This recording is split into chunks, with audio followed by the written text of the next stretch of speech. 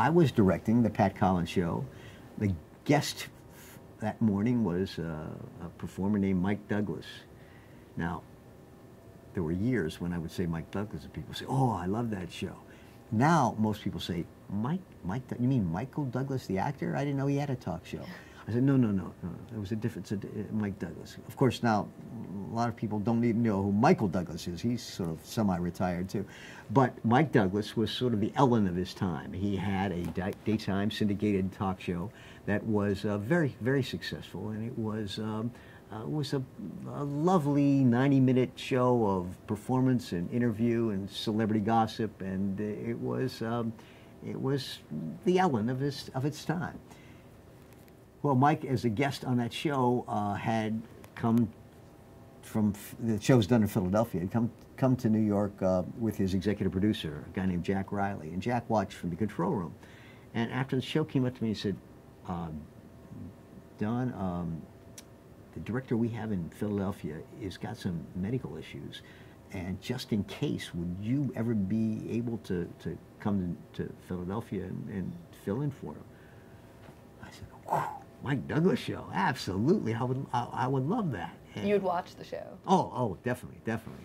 Especially when I was home sick from school, and and, and, and it was. Um, it had its competition was uh, Merv Griffin, and Dinah Shore had a show at the same time. But they were big, and that was in the days of, of three commercial channels, so it was seen and known everywhere, and I, I knew it well.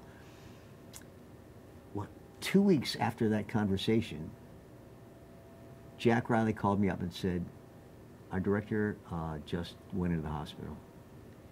Uh, is there any chance you can come down and do two weeks of shows? And it just so happened I could, uh, vacation time or something. We were down for some reason. I said, okay, I'll, i can be in Philadelphia tomorrow. He said, no, no, uh, this is the two weeks we're doing the show live on the beach in Miami.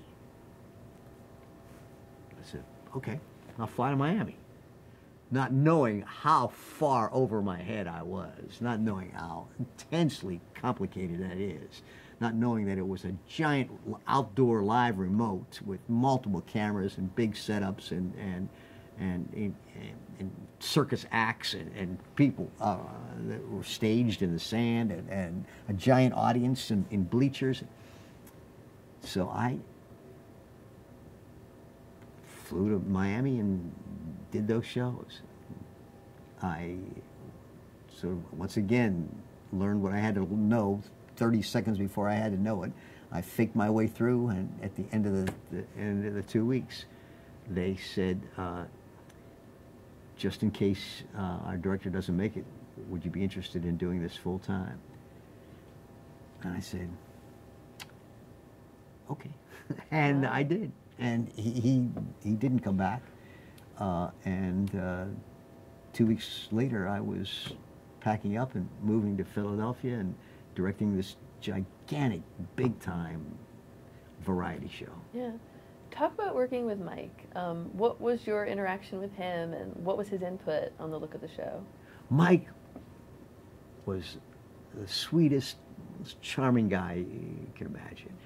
And I, he didn't have a, he didn't have a competitive sense. He didn't have a, a, a, a star's attitude. He just was a, sweet guy with a pretty voice who had stumbled into the to the right thing at the right time, uh, which made it so much easier for all of us. Uh, and, and, quite frankly, I think that's what partly what what made him good. Uh, he it, being a, being the host of a talk show is a tough dichotomy because on the one hand, you know that the show exists because of you. Your name, it's the Mike Douglas show. Your name is uh, uh, on that marquee, and people watch because of you. Uh, but to be good at it, you've got to give up the spotlight. You've got to make the, your guest feel comfortable and important, and you've got to make him funny and enjoy his performance. Well, Mike, as a singer, uh, loved it when somebody uh, knocked it out of the park as a, as a performer on the show. He loved the, the finest singers uh, in the world to be on, on, his show.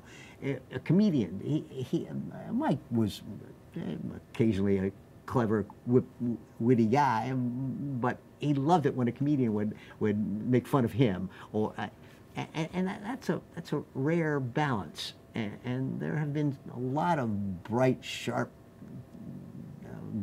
talk show hosts who don't have didn't have that kind of uh, ability to give up the spotlight. And, but M- Mike did, and, and, and, that made it easy for, for everybody. Certainly made it easier for me. And, um, and I, I, I loved that time. Mike also had a, a part of the show was called a, um, a guest host, so that, that one of the celebrities would be on every show for an, the entire week. So we got to work with some, some, uh, some uh, remarkable people for, for the entire week of shows. I got to spend a week with Red Skelton and, and Jackie Gleason and, and Jerry Lewis and uh, all, some of the finest singers and, and crooners and Catskill comedians that you can imagine. And I, in retrospect, think, man, I wish I had been a little more mature to know how special this was.